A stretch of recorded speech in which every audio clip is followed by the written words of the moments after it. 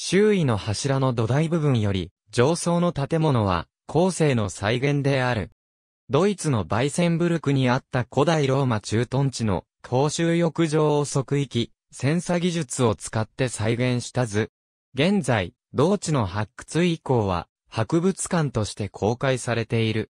古代ローマの公衆浴場は、バルネア、テルマエと呼ばれており、多くの都市に少なくとも一つの公衆浴場が存在した。そこは、社会生活の中心の一つになっていた。古代ローマ人にとって入浴は非常に重要だった。彼らは1日のうち数時間をそこで過ごし、時には1日中いることもあった。裕福なローマ人が一人か複数人の奴隷を伴ってやってきた。料金を支払った後、裸になり、熱い床から足を守るために、サンダルだけを履いた。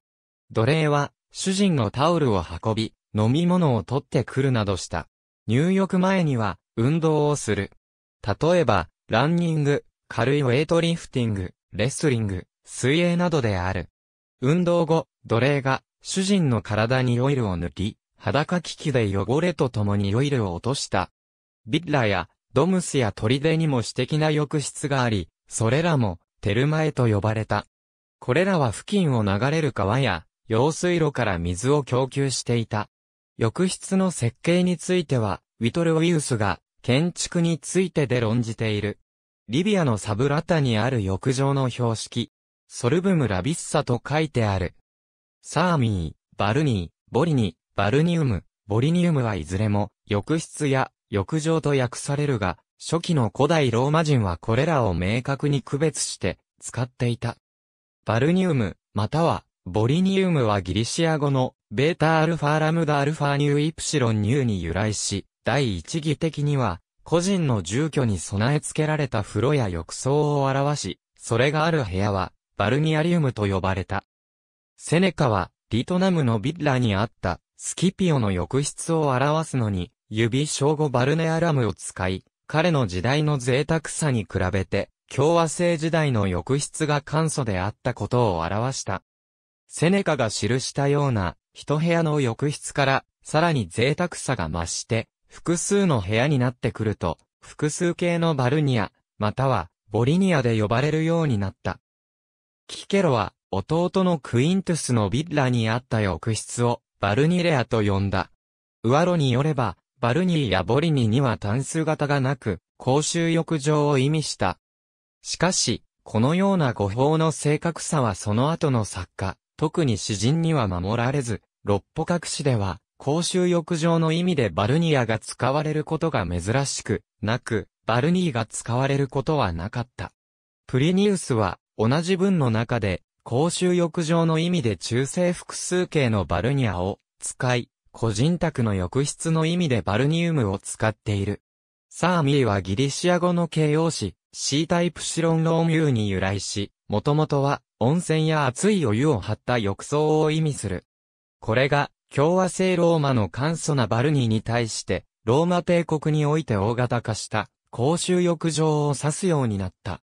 そこには、ギリシアのギムナシオンにあるような設備や建物が揃っていて、同時に浴場としての設備を備えていた。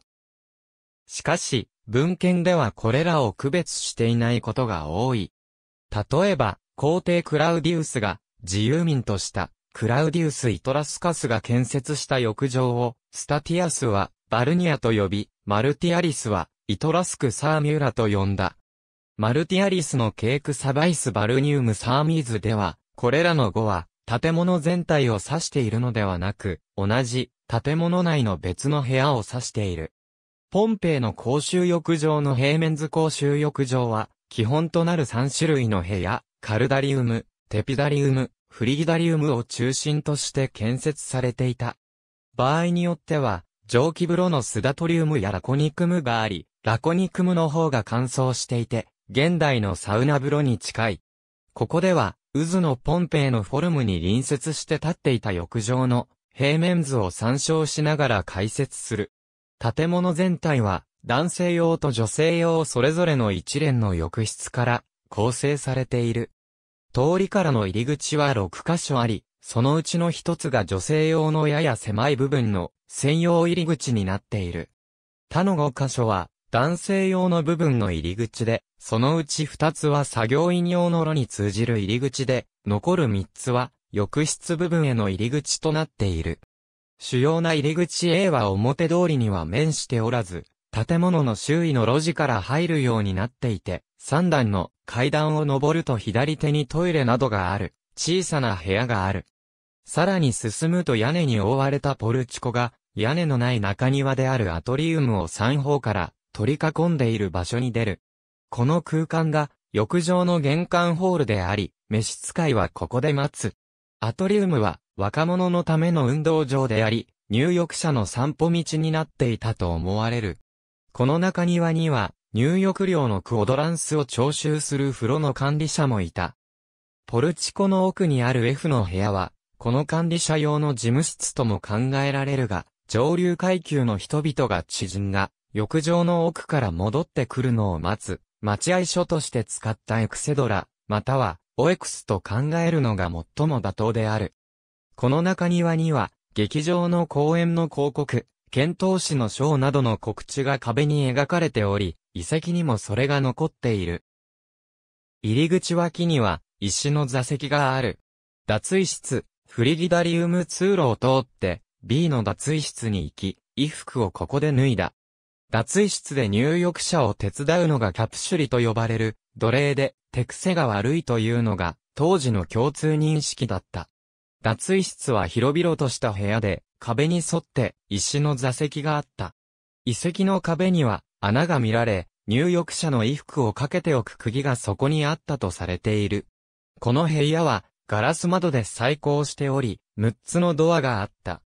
そのうちの1つがテピダリウムに続いており、別のドアがフリギダリウムに続いている。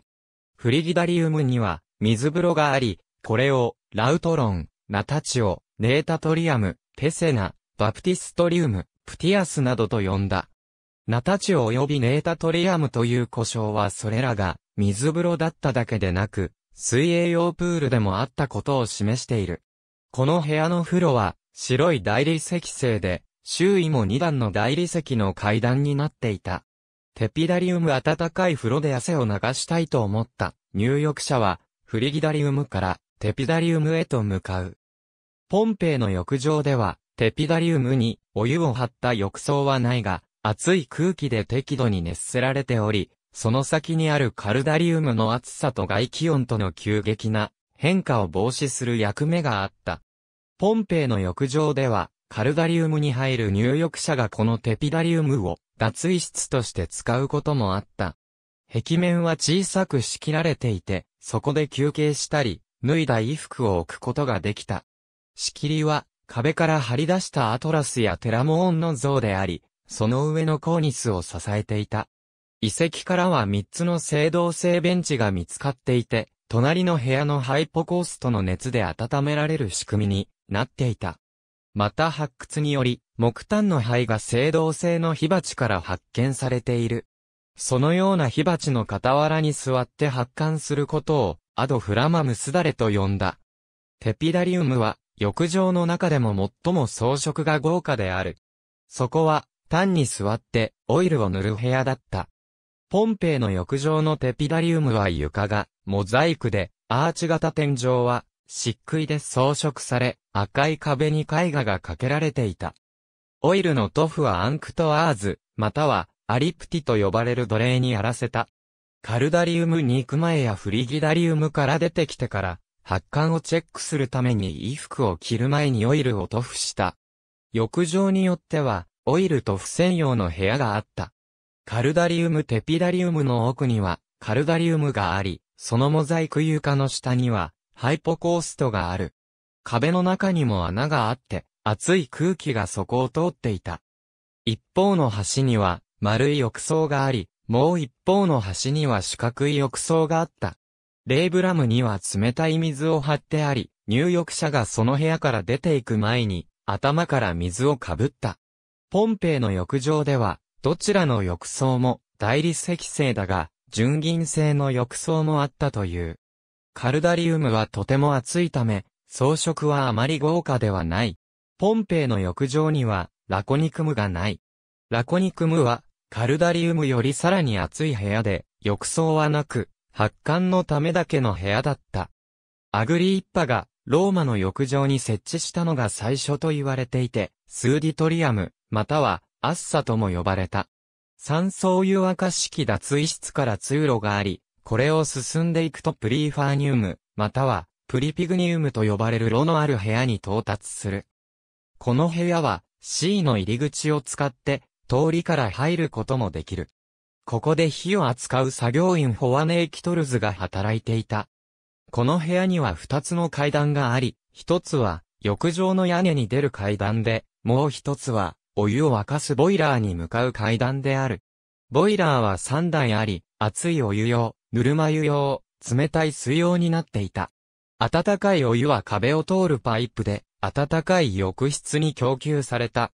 D の炉は、カルダリウムの熱い浴槽のお湯を熱するとともに、熱気をハイポコーストに供給していた。熱いお湯を沸かすボイラーは、炉のすぐ上に置かれていた。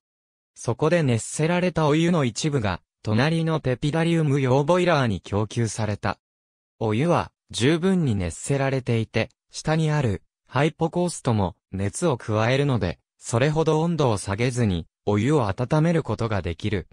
冷水は奥にある、四角い水槽から供給される。ボイラー自体は残っていないが、それらが置かれていた場所のモルタルの形状などから、その様子を想像することができる。これらのボイラーの形状が、マイルストーンの形状に似ていることからミリエリアと呼んだ。ボイラー室の奥には、浴場の作業員のための中庭、またはアトリウムに通じる通路がある。女性用浴室男性用浴室に隣接し、壁により隔離された一連の浴室は女性用である。入り口は B で、そこを入ると小さな玄関ホールがあり、脱衣室に続いている。男性用の脱衣室と同様に壁に沿って座席がある。脱衣室内に水風呂があり、男性用のフリギダリウムに相当するがずっと小さい。脱衣室から水風呂に向かって下っていく4段の階段がある。脱衣室の入り口と反対側のドアを通ると、そこがテピダリウムで、さらにそこからカルダリウムに行けるようになっている。カルダリウムの端に熱いお湯を張った浴槽があり、別の端に冷たい水を張ったレーブラムがある。男性用と同様、ハイポコーストで、部屋全体が熱せられている。テピダリウムには、男性用テピダリウムにあったような火鉢はないが、ハイポコーストで部屋が温められていた。公衆浴場には、上述した3つの主な浴室の他に、パライストラや屋外運動のできるギムナシウムが併設されていることが多い。他にも、重量上げの部屋や談話室があった。男性は自分でオイルを抜き、シャワーを浴び、裸機器で余分なオイルや汚れを落とした。裕福なものは、タオルや、オイルや裸機器を運ぶキャップズリアスと呼ばれる奴隷を伴い、本人が浴室に入っている間は、私物が盗まれないよう監視させた。ローマ人にとって、公衆浴場は、社会生活の重要な一部だった。公の施設として建設され、貧富の差を問わず、誰でも利用できた。飲食、運動、読書、商売、哲学的議論などができる場所だった。現代の同等なものを想定するとすれば、それは、図書館、美術館、ショッピングモール、バー、レストラン、ジム、温泉が複合された施設である。外国人になぜ毎日公衆浴場に行くのか聞かれ、ローマ皇帝は、1日に2回行くだけの時間を取れないからだと答えた。皇帝は市民を喜ばせ、自らの名声を後世に残すために、公衆浴場を築いた。裕福なローマ人は、ローマ市民の名声を得たいとき、公衆浴場を1日貸し切りにして一般に無料公開した。例えば、執政官になりたい元老院議員は自身の誕生日に特定の公衆浴場を貸し切りにして無料開放し、その地区の人々に名を売った。公衆浴場はローマ帝国各地に築かれた。自然の熱水泉がある場所にも公衆浴場が築かれたなど。熱水栓がない場所では、ハイポコーストが使われた。古代ローマの公衆浴場の遺跡はいくつも残っているが、その保存の程度は様々である。有名なものとしては、イングランドのバースにある公衆浴場、ローマンバス、ローマのカラカラ浴場、ディオクレティアヌス浴場、ティトゥス浴場、トラヤヌス浴場、バルナの浴場などがある。古代ローマ帝国において、様々な属州に、公衆浴場は作られた。しかし、古代末期のゲルマン民族の侵入による、西ローマ帝国の崩壊などの混乱による都市の破壊、衰退とともに、公衆浴場も維持できなくなり、放棄されていった。5世紀に崩壊した西ローマ帝国と違って、存続に成功した東ローマ帝国では、比較的、遅い時期まで公衆浴場が維持されており、首都コンスタンティノープルにあったゼウクシッポス浴場は、6世紀ユスティニアヌス1世の時代の二課の乱で焼け落ちた後にも再建されたことが記録されているが、626年には、コンスタンティノープルの水道設備がアバール人に破壊され、8世紀には浴場の装飾も剥ぎ取られ、兵舎や牢獄に転用されてしまった。